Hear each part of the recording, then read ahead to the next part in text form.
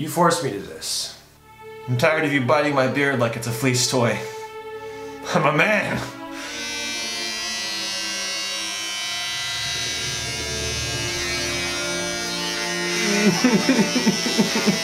You haven't been neutered yet. You don't know what losing your manhood feels like.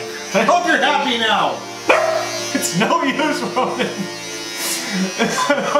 I've already started. No!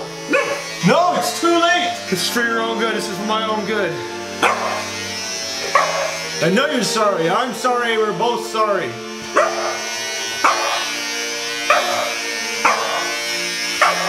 I had no choice, Ronan.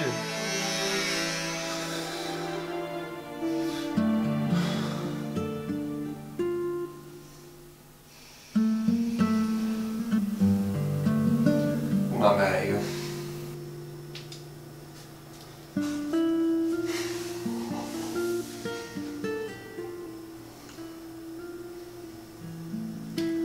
Why don't you say we forget this whole biting business?